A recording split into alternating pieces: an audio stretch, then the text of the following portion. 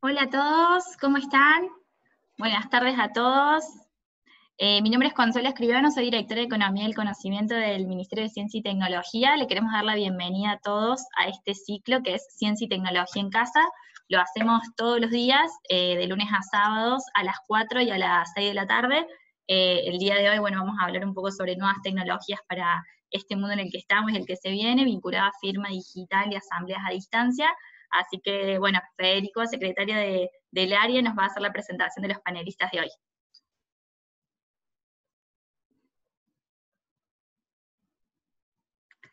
Fede, no te escuchamos, estás en silencio, perdón, no me di cuenta. ¿Listo? Ahí está, bueno, gente, gracias, gracias Consu. Gente, buenas tardes. Un placer estar nuevamente con ustedes en este ciclo de Ciencia y Tecnología en Casa. Bueno, hoy tenemos una charla una presentación dedicada eh, y enmarcada en contexto, es decir, justamente y dada las restricciones que estamos teniendo, cómo la tecnología nos puede ayudar a seguir con nuestras actividades de la mejor forma. Y hay algunas actividades en particular que tienen ciertos requisitos, algunos requerimientos legales que debemos tener en cuenta, por lo cual la combinación de la tecnología con los aspectos legales es algo que tenemos que tener en cuenta. Justamente para este tema tenemos hoy a Ezequiel Reutemann, abogado y doctor en Derecho de la Universidad Nacional, docente en IGDA de la Universidad Católica, es especialista en Derecho Corporativo, tiene experiencia en distintos sectores como es aviación, automotriz, industria financiera, pero además eh, trabaja muy cerca de empresas, startups y emprendimientos tecnológicos, por lo cual tiene una mirada bastante particular y cercana también lo tenemos a Oscar Medina, ingeniero en sistema de información de la UTN, docente, investigador, director de CIS, del Centro de Investigación y Desarrollo de Blockchain, y coordinador de ANDEN, que es el Centro de Innovación de Emprendimientos Tecnológicos de la Secretaría de Extensión Universitaria de la UTN Córdoba.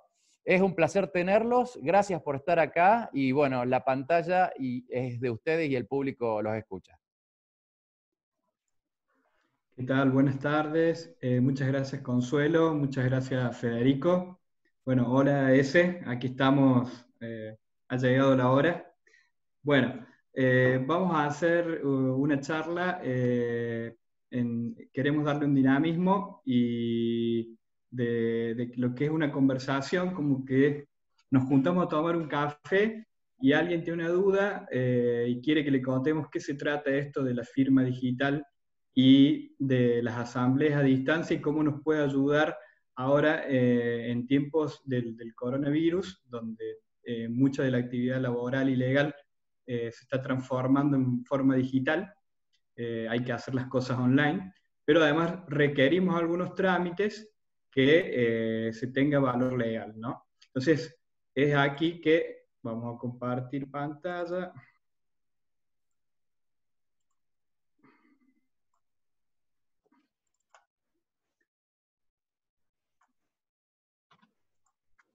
Les traemos esta propuesta para contarle un poquito y hacer una introducción, ¿no? Eh, el objetivo de esto no es tocar el tema en profundidad, porque si no para eso habría que dar una clase o una conferencia académica, sino eh, vamos a dar los conceptos principales y obviamente si tienen alguna duda, se las vamos a responder, la van escribiendo en, en el chat y obviamente después dejaremos la bibliografía y los contactos nuestros para que podamos profundizar en el tema, ¿no? Hoy en día que estamos eh, todo el tiempo conectados y, bueno, y también aprovechamos para ver mucho Netflix y, para jugar a videojuegos, eh, vamos a aprovechar ahora a hacer una pequeña trivia, digamos. Fíjense en estas tres imágenes y eh, díganme, a ver si alguno se anima en el chat, a decir qué tiene en común este señor cortando el césped, este músico, ¿no? Beethoven creo que es, y Spotify. ¿No? ¿Qué, tienen en común? ¿No? Bueno, vamos a esperar un segundito que haya algunas preguntas o algunas respuestas y no nos vamos a demorar más y eh, le vamos a contar brevemente cómo, cómo esta historia de transformación está relacionado con lo que vamos a hablar hoy. Eh, no sé si saben ustedes lo que es un, un, un, eh, portátil.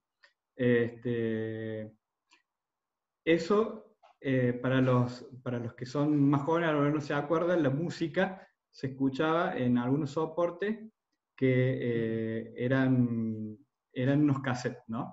Resulta que eso lo inventó Sony en los años 80 cuando, dice una leyenda urbana, cuando el presidente Sony estaba cortando el césped, obviamente que tenía muy buen equipo de música, este, y eh, él quería escuchar su música, pero el sonido de la, máquina de césped le, molestaba. ¿no?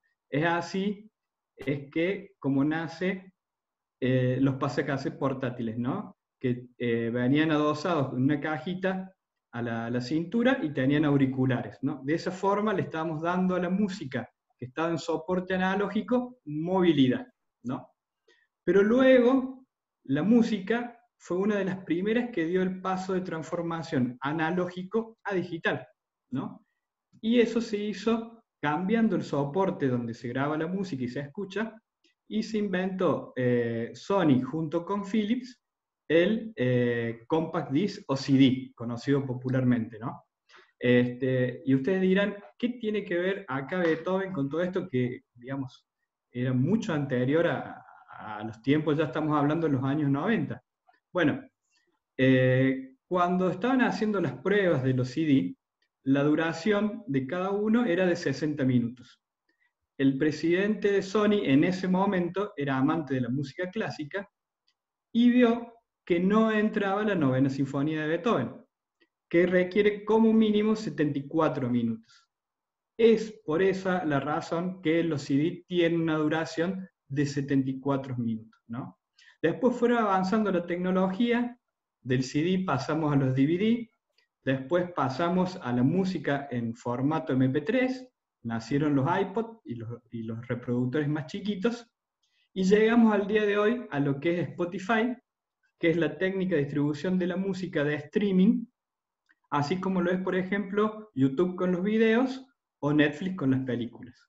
Acá fíjense en que el cambio es fundamental porque eh, los clientes ya no consumimos un producto, sino un servicio, porque ya ni siquiera es necesario tener el tema musical bajado a nuestro dispositivo, ya sea una PC, un celular, un dispositivo de música, sino que lo vamos consumiendo en línea como si fuera un servicio de televisión.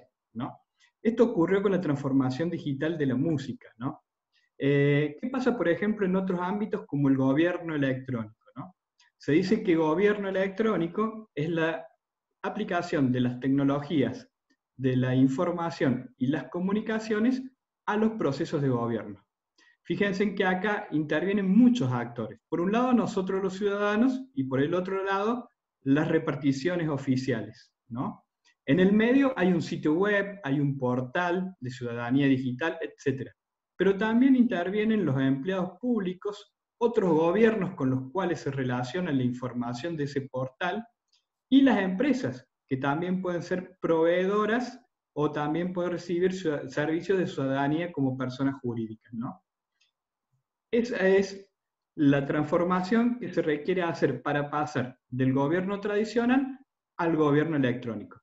Generalmente, en el gobierno electrónico, la, transformación del soporte se da del papel al digital. ¿no? Así como en la música era de lo analógico, que era en una cinta, a soporte digital, el desafío en, gobierno y en muchos de, los ámbitos privados para transformar un proceso en digital hay que cambiar el soporte papel al digital.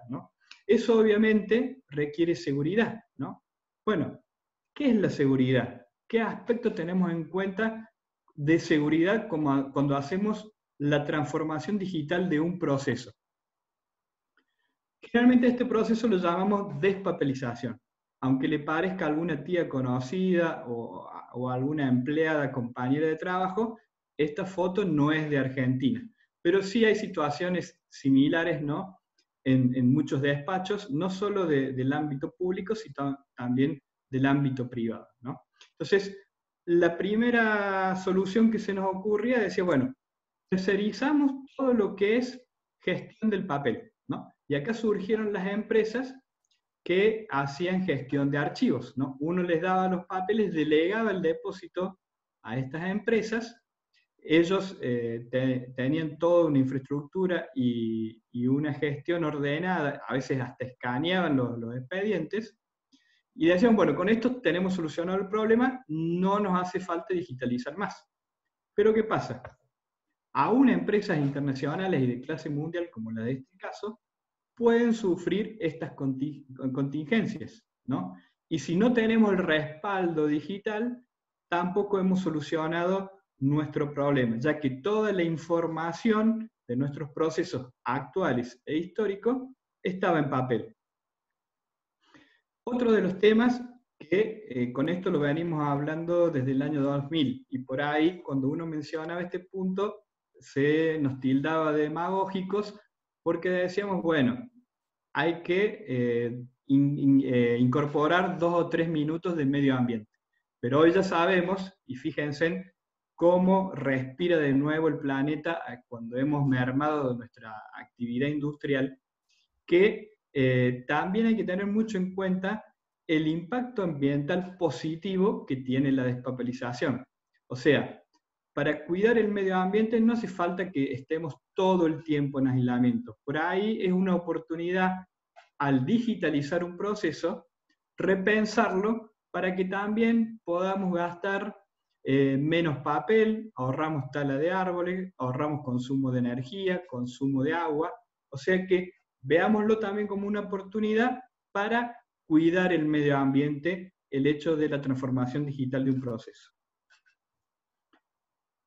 Acá lo que estamos hablando más que de seguridad, estamos hablando de confianza. O sea, yo necesito tener la misma confianza en el expediente virtual que la confianza que tengo en el expediente en papel. Y el valor y el respaldo legal, obviamente para que el trámite sea válido. Y acá surge una de las herramientas que auxilian a la transformación digital, es la firma digital que en Argentina tiene valor legal. Ahora, ¿qué es la firma digital? ¿no? Eh, por ejemplo, esto, que es eh, una firma escaneada en un dispositivo electrónico.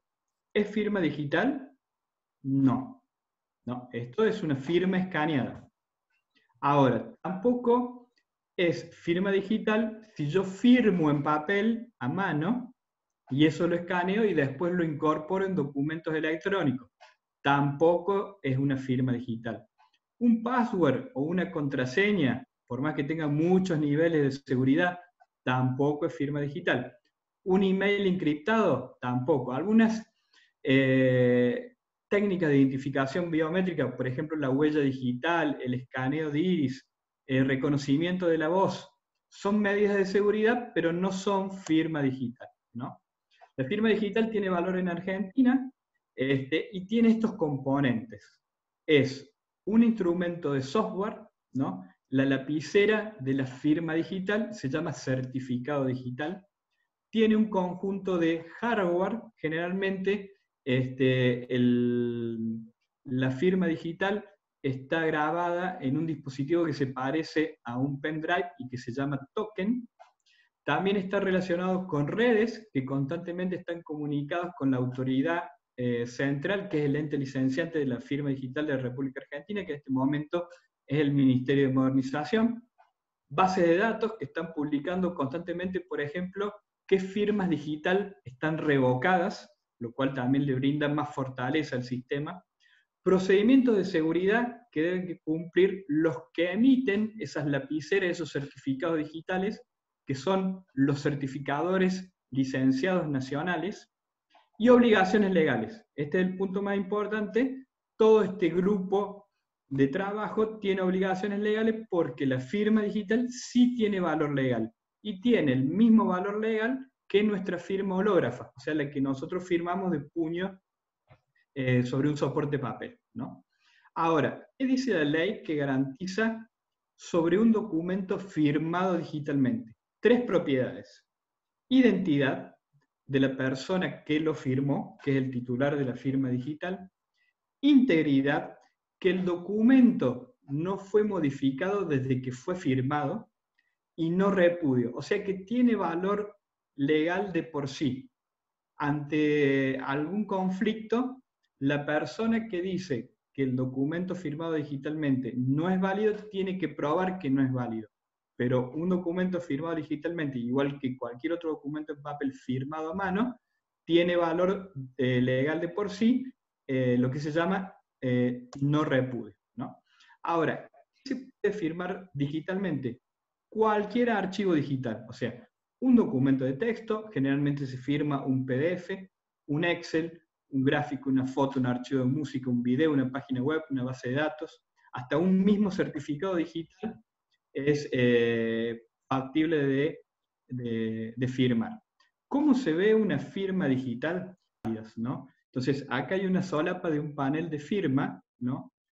El validador es un algoritmo común de lo que se llama y especificado por la ley clave pública privada, que es un método matemático. ¿no? Y acá, si tiene un tilde verde, significa que la firma es válida y que el documento no fue modificado. Si tiene una cruz roja, significa que o la firma digital no es válida o el documento fue eh, modificado. No se puede saber qué cosa, pero eso no es válido. Y a veces tiene un simbolito, un triangulito amarillo que es de advertencia, con lo cual está faltando configurar algo en el dispositivo para que el programa Adobe, que es gratuito, pueda validar esa firma digital. Una vez que la firma digital está validada, uno puede ver todos los datos de la firma digital, incluso puede abrir para ver las propiedades de la firma, que esto tiene un protocolo eh, informático de seguridad que es la norma X509. ¿no? Entonces ahí uno puede ver todos los datos de la firma y del eh, certificador licenciado que emitió el certificado digital, que es como la lapicera con la cual se firma eh, un documento, ¿no? Un, documento digital. Oscar, ah, está, eh, perfecto. Ahí está para decirte que volvieras a pantalla completa. Buenísimo, ahí se ve mejor. Gracias. Ahí está. Bueno, ¿cómo funciona la firma? Y, acá ya vamos terminando. Digamos, eh, un solicitante hace el, trámite de, de, solicitud de la firma, que generalmente es online, ¿no? Uno tiene que, ante una autoridad de registro, acreditar la identidad personalmente. Puede ser persona física o jurídica, o sea que las empresas también pueden tener firma, obviamente que tienen que tener un tenedor que es un responsable legal de la empresa. Ese algoritmo genera una clave privada y una pública. La clave privada la genera la misma persona eh, cuando le es aprobada la solicitud y la pública es la que está disponible en un servidor para que se pueda validar eso que hicimos recién, un documento firmado digitalmente. Este es el proceso de generación. Bueno, luego yo tengo mi firma digital en un dispositivo como puede ser un token que les decía que era parecido a un pendrive. Tengo un documento, lo firmo y eso me genera un nuevo documento que tiene adentro la firma digital y la clave pública. ¿no? Entonces, cuando yo recibo ese documento firmado digitalmente, al igual que hice ahora, y por ejemplo lo abro, si es un PDF con el Adobe, el Adobe va a buscar la clave pública, la firma digital, ejecuta una operación matemática y me va a decir si es válido, sí y no. No va a decir cuál es el error, simplemente va a decir que es válido, ¿no? Eh, en Argentina se está usando mucho la firma digital, sobre todo en el ámbito de recursos humanos, no solo en gobierno. En esto la, provincia de Córdoba es pionera porque desde la Secretaría de Trabajo, para todo lo que es eh, la firma de los documentos de recibo de sueldo y, de gestión de recursos humanos, lo comenzamos en Córdoba y después ya se trasladó para el país. Hay certificadores eh, licenciados acá en Córdoba, privados, eh, y bueno, y también obviamente hay certificadores licenciados públicos a nivel nacional, como es el ANSES, el AFIP, etc. También se usa en otros ámbitos, por ejemplo, para aprobación del el circuito de compras, para aduanas, eh, en las empresas privadas, por ejemplo, para firmar licitaciones internacionales, ¿no? Eh, se está usando mucho y, realmente es práctico donde aquellos procesos requieren sí o sí eh, la instancia de una firma. Para finalizar, adelanto algunas de las preguntas que, nos hacen. Bueno, ¿qué pasa con blockchain si va a reemplazar la, la firma digital? Eh, dos, dos palabritas nomás para terminar. Blockchain es una tecnología que, al igual que firma digital, vienen de la misma disciplina matemática que es la criptografía. ¿no? Eso es lo que tienen en común. Pero la firma digital tiene valor legal y blockchain todavía no. No hay ninguna ley que le otorgue a esta infraestructura tecnológica valor legal. Lo que sí son complementarias. O sea, yo podría tener un documento firmado digitalmente y lo puedo subir a la blockchain. Para no profundizar mucho en el tema, porque blockchain da para varias charlas, blockchain imagínense que es una red eh, que tiene más de un servidor y cada servidor tiene la base de datos completa, una copia. ¿no? Entonces, cuando yo quiero hackear la base de blockchain, si hackeo un servidor no pasa nada. Debería hackear la mitad más uno de los servidores para realmente ahí quebrar la seguridad de la red blockchain. O sea que trabajando en conjunto la firma digital y blockchain podríamos lograr en algunos procesos no solo valor legal, sino también una trazabilidad con alta seguridad. Eh, esto obviamente que da lugar a otros tipos de procesos y herramientas que necesitamos para digitalizar los procesos, como son, por ejemplo, las asambleas o reuniones a distancia con valor legal, que les va a hablar mi compañero Ezequiel. Gracias.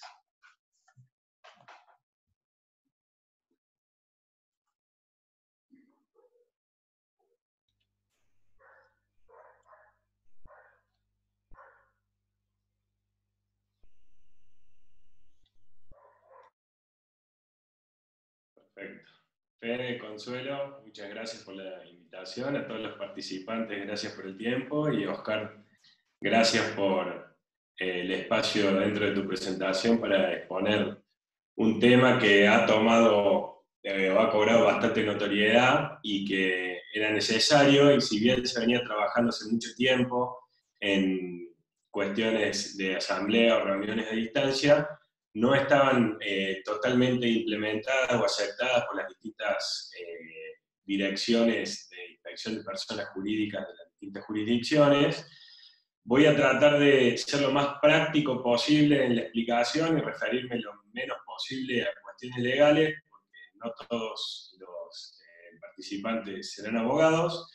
entiendo que todos tendrán interés en esto, aquellos que tengan alguna participación en una sociedad o formen parte de un directorio, eh, pero eh, esta lamentable situación que estamos viviendo, como en muchas otras eh, situaciones, se ha acelerado la implementación de ciertas tecnologías y ciertas cuestiones que permiten que a distancia podamos hacer ciertas cuestiones y ciertos actos.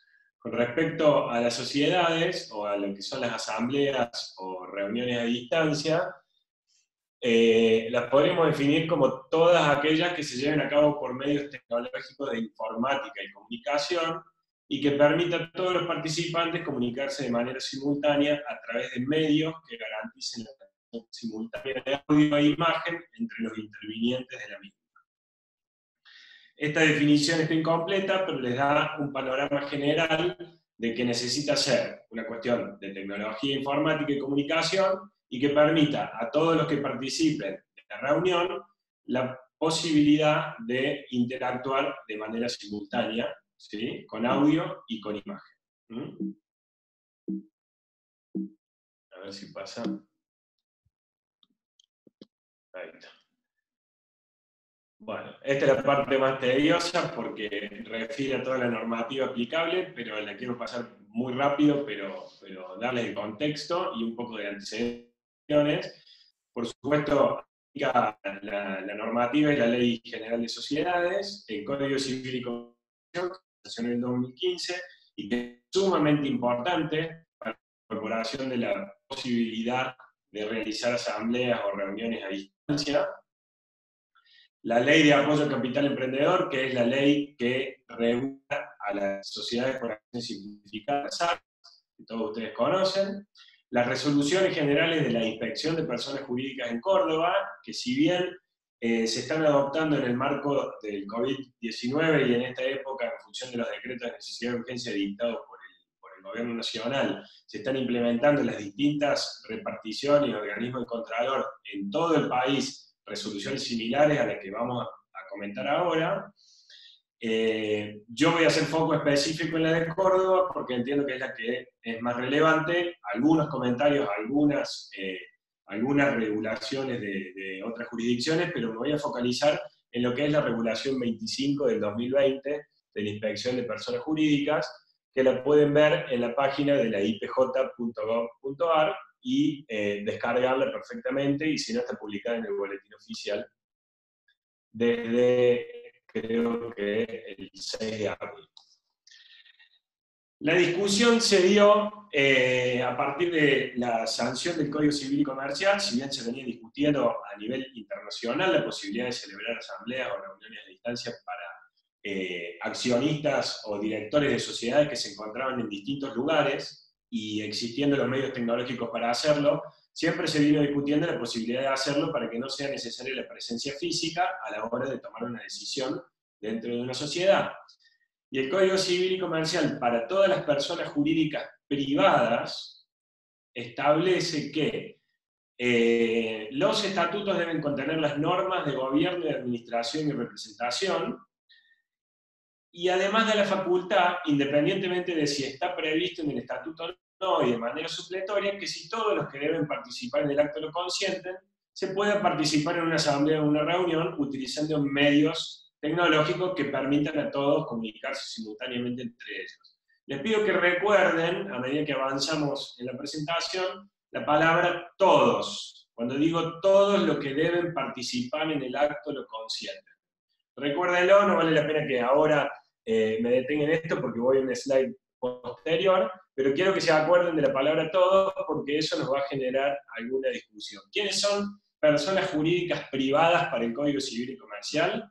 Las sociedades, las asociaciones civiles, las simples asociaciones, las fundaciones, las iglesias, confesiones, comunidades eh, o entidades religiosas, las mutuales, las cooperativas y los consorcios de propiedad horizontal. Yo me voy a detener ahora en los próximos minutos exclusivamente en las sociedades, en las asociaciones y las fundaciones, porque son las que regulan eh, y rigen la regulación o la resolución que es la que vamos a comentar.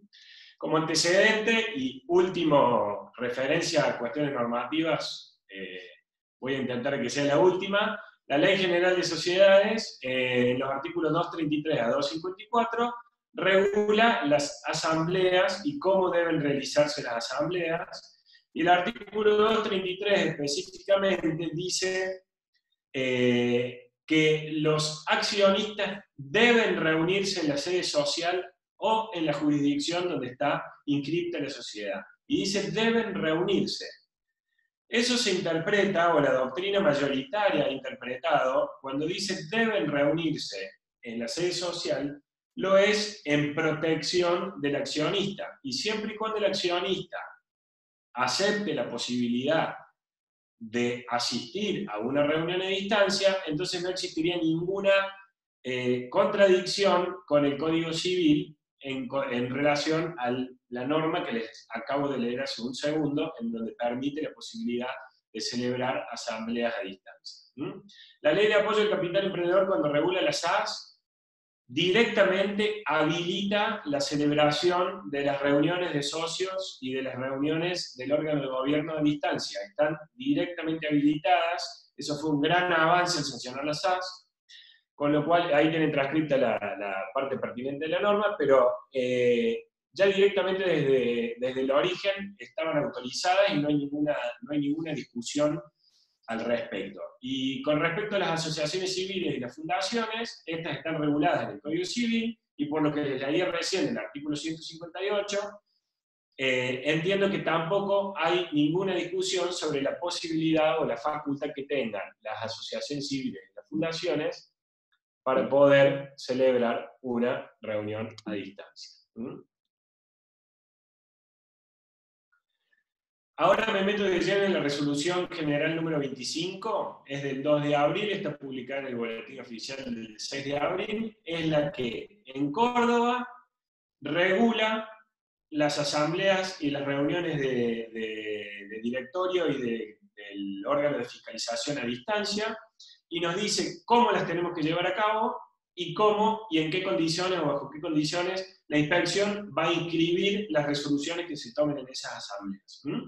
Solamente la inspección tiene competencia en Córdoba sobre las sociedades por acciones, las asociaciones civiles y las fundaciones, y además está eh, el registro público de comercio, que es el registro que hace oponible hacia terceros todas esas resoluciones una vez que se encuentran inscritas. ¿Qué pasa con las sociedades de responsabilidad limitada? Que hay muchas. No están comprendidas dentro de esta resolución, sí están comprendidas dentro de todo el antecedente que les venía explicando recién, y por eso quería hacer ese antecedente, pero las, decisiones de las sociedades de responsabilidad limitada, eh, el juez de control el organismo de contralor original son los tribunales comerciales en Córdoba. No es así en todo el país, sí en Córdoba. Entonces, primero pasa por un juez que resuelve si cumple o no con los requisitos, y después de que pase ese juez se ordena la inscripción de lo que ese juez resuelve en el registro público de comercio.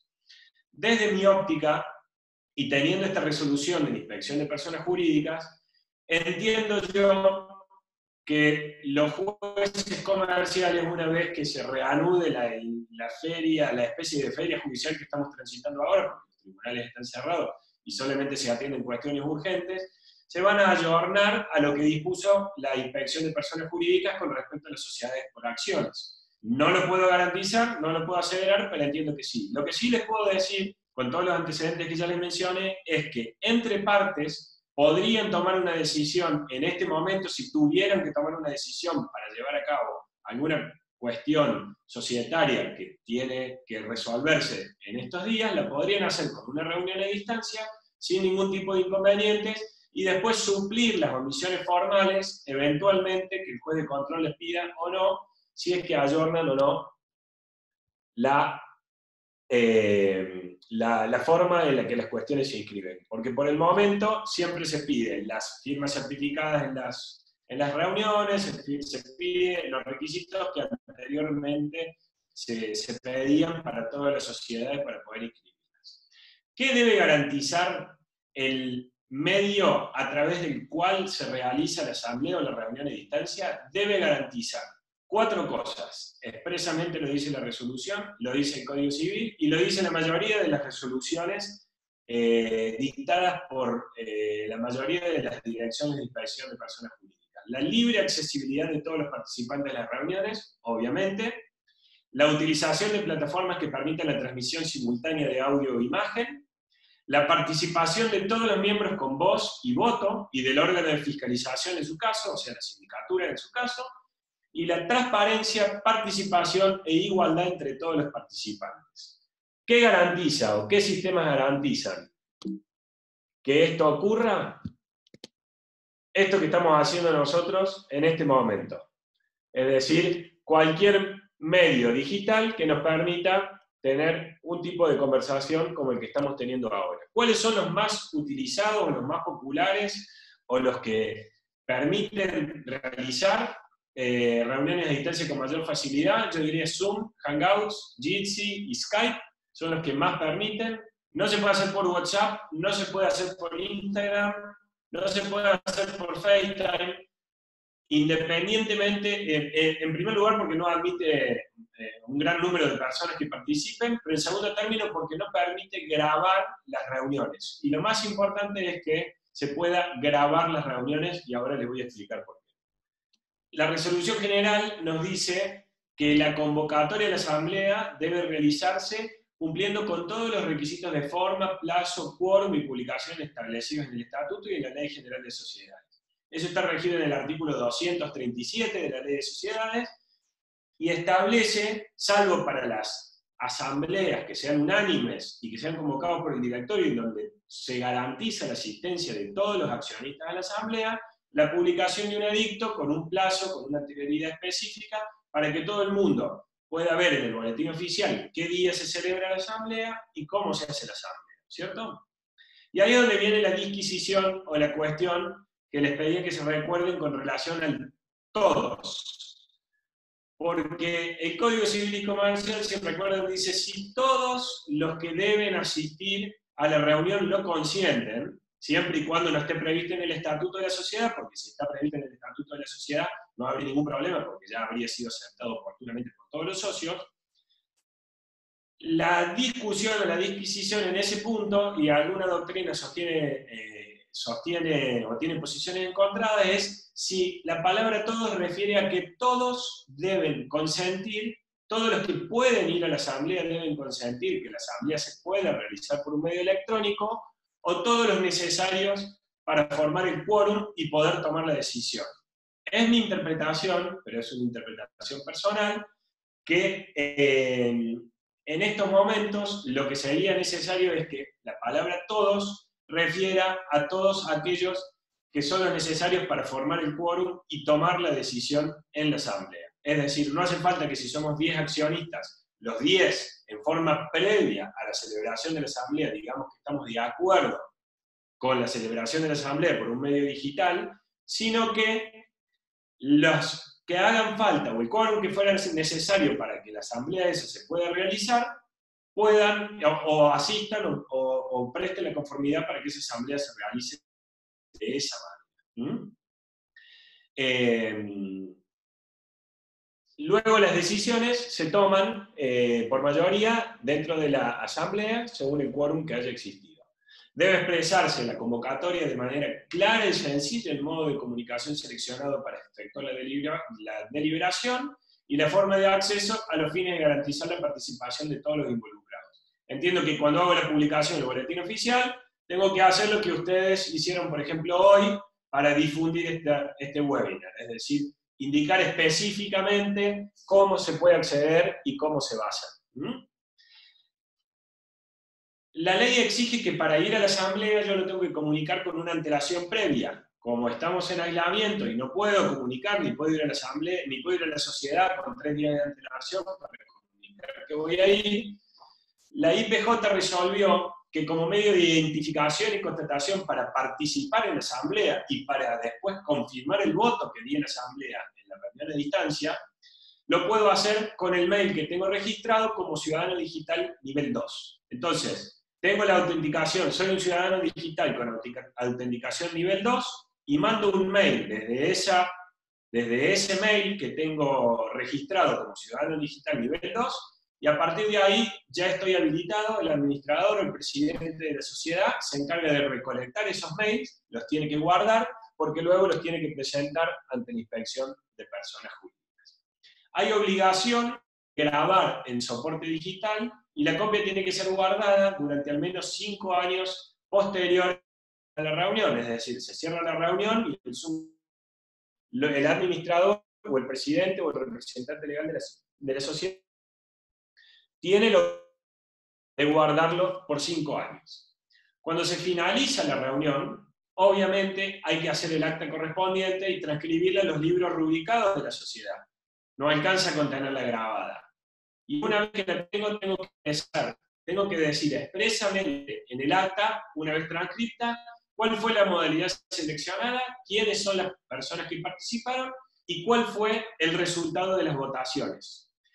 Y después lo que necesito para presentarla ante la inspección es una constancia emitida por cada uno de los intervinientes de la misma manera que confirmó que iba a asistir a la asamblea, cuál fue el resultado de la votación. Es decir, confirma que el texto del acta está conforme con ese texto, confirma su voto, uno por cada uno de los asistentes, y da detalle de eh, cada uno de los, tiene que tener el detalle de cada uno de los órdenes del día del, de, del día discutido y cuál fue el voto que emitió cada uno de los que participaron. ¿sí?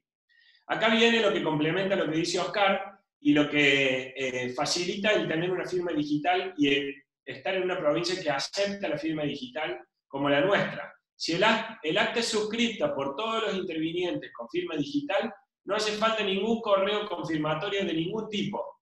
yo firmo digitalmente el acta y el acta ya es válida como si lo hubiese firmado en el libro correspondiente y la puedo directamente presentar ante la inspección para que la inspección la pueda inscribir. Algunas cuestiones adicionales de la práctica. Eh, dentro del marco de esta emergencia, si la asamblea es unánime, no es necesario la firma del registro de asistencia, eh, en forma posterior a que, pase, digamos, la, cuarentena en la que estamos atravesando. Y es suficiente, como les decía, los correos electrónicos para acreditar quiénes son los socios que asistieron a la asamblea. El acta la tiene que firmar el presidente o el administrador con firma certificada. Hasta hace poco los escribanos tampoco tenían facultad para poder trabajar. A partir de ahora y para casos excepcionales sí la tienen. Y según eh, me informaban desde la Dirección de Inspección de Personas Jurídicas, los escribanos están certificando las firmas de actas de sociedades que tienen que presentarse para inscripción por cualquier cuestión eh, que tuviera que ver. El resto de los requisitos que tenga que ver con cada uno de los trámites que se resuelve, y voy a poner como ejemplo, si la Asamblea trata una reunión, una elección de autoridades, tengo que cumplir absolutamente con todos los requisitos que ya están previstos para cada uno de los trámites específicos, ya sea una asamblea ordinaria o extraordinaria, y que me pide la inspección. Tengo que publicar el edicto correspondiente, tengo que eh, tener las aceptaciones de cargo de los directores con la firma certificada, tengo que firmar las declaraciones de personas políticamente apuestas que correspondan, tengo que entregar una certificación contable eh, si es que hice un aumento de capital, es decir, entro, veo cuáles son todos los trámites, los pueden ver en ipjcba.ar barra trámites, todos los mismos requisitos que hay para cumplimentar con una asamblea regular, los tienen que cumplimentar con una asamblea que se haya tomado o que se haya hecho a distancia. Traté de ser lo más práctico y hacerlo dentro de todo, dentro del tiempo con el que nos habíamos comprometido con Oscar. Simplemente como una conclusión, creo que esto es eh, en el marco de la eh, trágica situación que estamos viviendo, esto es sumamente importante para las sociedades. Eh, hay muchas jurisdicciones que incluyeron en su resolución que esto es temporal y que cuando se acabe la restricción que nos da la pandemia eh, va a volver a ser de la misma forma anterior y las sociedades que quieran poder tener asambleas o reuniones de directorio por medios digitales van a tener que actualizar sus estatutos. Mi interpretación de la resolución de Córdoba es que se dictó y queda para el futuro, lo cual es muy bueno. Seguimos siendo pioneros con relación a la Dirección de Inspección de Personas Jurídicas eh, seguimos en el tren de la digitalización, lo que entiendo facilita muchísimo y agiliza muchísimo la burocracia que genera a veces las resoluciones que se toman dentro de las asambleas en el marco de la necesidad de eh, agilidad que tienen las sociedades cuando toman sus decisiones. Bueno, muchas gracias. Muchas gracias Ezequiel, muchas gracias Oscar. Eh, bueno, ahí están los datos de contacto. El... Fede, no sé si tenés algún comentario, si no, ya veo que hay algunas preguntas. Eh, no, justamente eso, que tenemos algunas preguntas. Gracias, Ese, Oscar. recuerden que pueden dejar todas las preguntas en el chat o directamente en preguntas y respuestas. Por lo que veo, hay gente conectada de empresas, de cámaras, de clusters, eh, es decir, fundaciones y asociaciones civiles, así que creo que por eso están muy relacionadas las, las consultas que les vamos a leer ahora. Em, Eugenio Bonetti nos consulta, ¿se puede agregar plataformas que soportan firmas digitales a software que utilizamos en las empresas? ¿Qué hace falta para esta integración? Eh, sí. Eh, obviamente que sí se puede eh, integrar la firma digital de la forma que lo determina la ley, que es la 25506, la Ley Nacional de Firma Digital, que tiene vigencia del 2001 ya determina el algoritmo matemático que es de clave pública privada, que tiene que tener esa lapicera digital que es el certificado digital. Lo único que tiene que hacer la empresa privada es eh, contratar el certificado digital a un certificador licenciado. ¿no? En el caso de, por ejemplo, los organismos públicos, hay algunos organismos públicos que son certificadores licenciados y le dan esos certificados a sus empleados, ¿no? Eh, por ejemplo, la AFID y el ANSES. Y de acuerdo a un último decreto que salió el año pasado, eh, otras reparticiones públicas también lo podrían obtener dentro de lo que se armó en el último periodo, que es la PFDR, que es la plataforma de firma digital remota, que es como un repositorio en la nube para eh, certificados digitales para empleados públicos. Ahora, volvamos a, la empresa privada. Lo único que le contrata al certificador licenciado son los certificados. Generalmente se contrata, supongamos para el uso de sueldo, el, certificado de la persona jurídica de la empresa y el certificado de sus empleados. Entonces, si yo lo quiero integrar con mi sistema de recursos humanos, uso los certificados y o puedo programar unas rutinas que usen este algoritmo de clave pública o privada, o le pido al certificador licenciado una interfaz entre mi sistema y, los certificados digitales. Por ejemplo, hay software como de, clase internacional, como es por ejemplo el SAP HR, que es de recursos humanos SAP, que ya tiene integrado firma digital, y también hay eh, software nacionales que ya lo tienen integrado.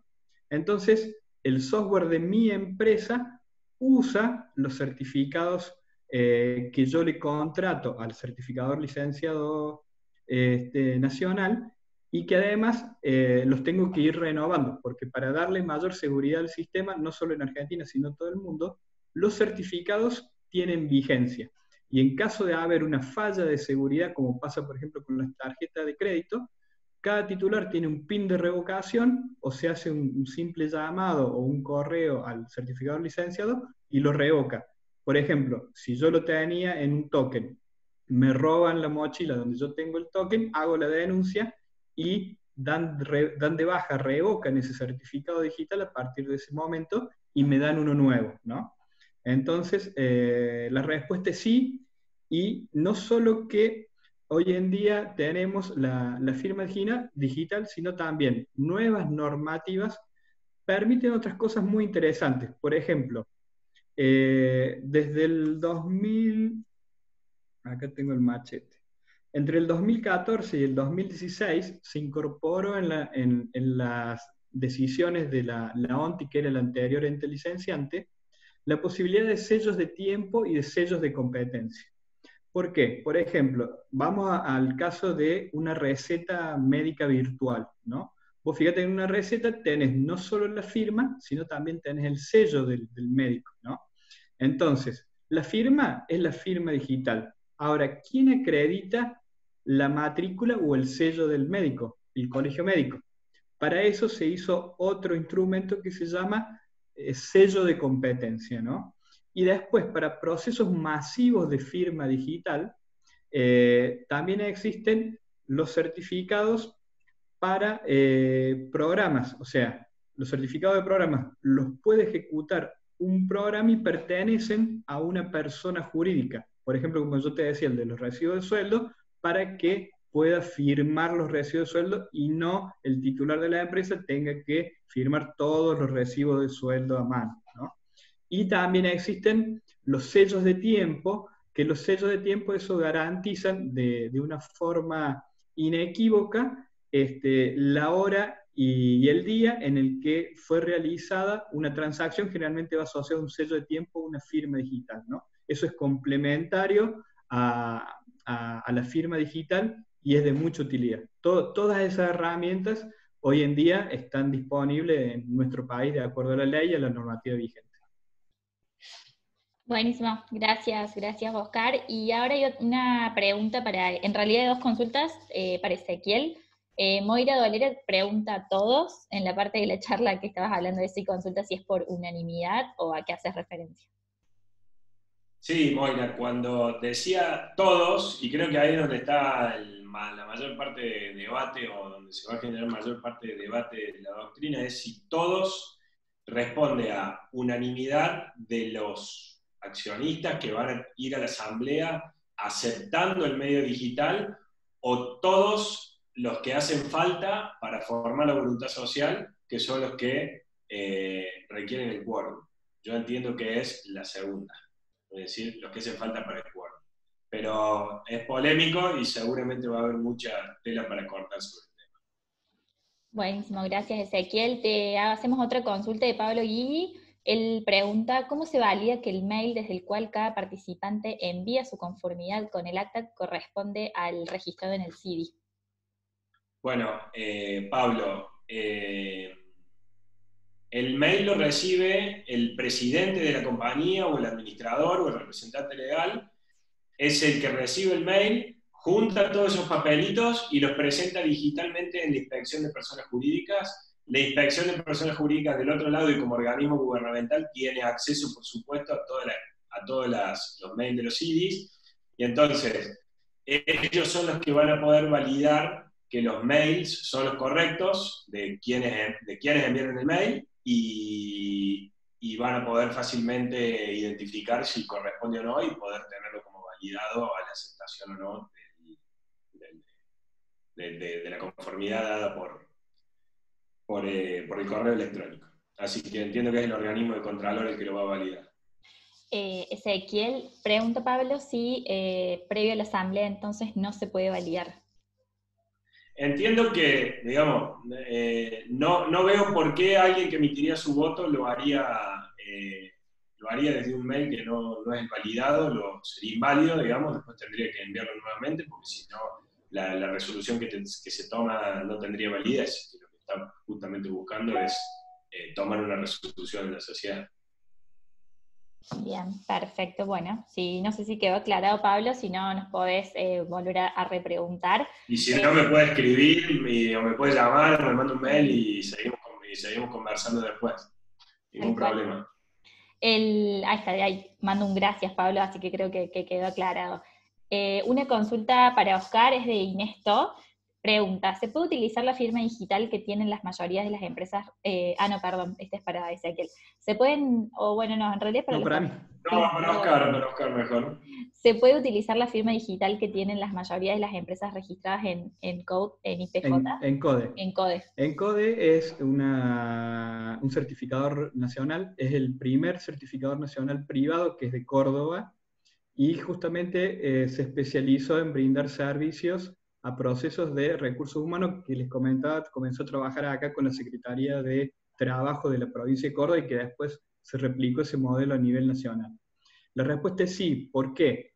Al partir de los comienzos de la reglamentación de la firma digital, eh, se establece lo que se llama la política única de certificación. O sea, que tu firma digital tiene el valor para aplicar en todo ámbito, al igual que tu firma hológrafa. O sea, si tu firma sirve para firmar un contrato, sirve para firmar este, una receta, etcétera, tu firma digital también lo sirve. Entonces, si vos ya tenés un certificado digital que es tuyo, eh, eh, con eso podés firmar digitalmente cualquier documento, incluidos los relacionados con los trámites del IPJ. Por ejemplo, lo que comentaba Ezequiel, podrías ya firmar las minutas de las asambleas.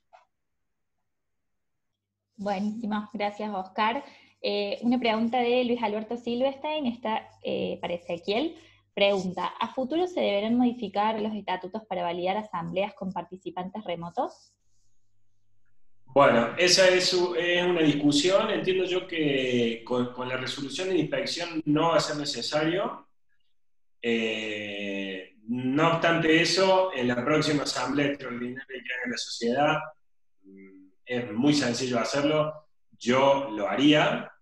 Eh, interpreto de la resolución que no, pero mm, lo que abunda no daña, yo lo haría. Hay otras jurisdicciones que específicamente dicen en la resolución, como por ejemplo Buenos Aires o Misiones, eh, específicamente dicen que terminada la situación de emergencia, las sociedades para poder hacer asambleas o reuniones de distancia van a tener que modificar los estatutos. Perfecto, gracias Ezequiel. Hay otra consulta de Patricia. Eh, pregunta, ¿qué sucede si se produce algún problema técnico y no se puede emitir el voto? Mm, entiendo que habría que hacer todo de vuelta. Eh, no tendría ninguna validez la asamblea porque eh, justamente uno de los requisitos específicos que les comentaba al principio es que exista la posibilidad de voz y voto. O sea, si se produce un problema técnico, o se soluciona y se hace, o habrá que convocar la asamblea de nuevo y, hacerla de vuelta. Lamentablemente, eh, creo que no hay otra solución porque Bien, perfecto. Eh, no sé si queda alguna otra consulta, no veo acá en el panel, en el chat, si no la pueden ir, eh, ir dejando, pero eh, si no, bueno, antes de, cerrar, de nuevo agradecerles a los panelistas por haber participado. igual, bueno, ahora Fede ya va, a hacer un cierre previo que nos vayamos, pero sí recordarles que este ciclo se llama Ciencia y Tecnología en Casa, que hacemos estos webinars todos los días a las 4 y a las 6 de la tarde. Incluso justo salió el tema de blockchain. Nosotros la semana que viene hacemos una charla sobre blockchain como tecnología disruptiva. Nos va a estar acompañando eh, Cecilia Mariani y Germán Gazzoni, que son del Cluster Core Technology. Creo que de hecho Germán está conectado en el chat.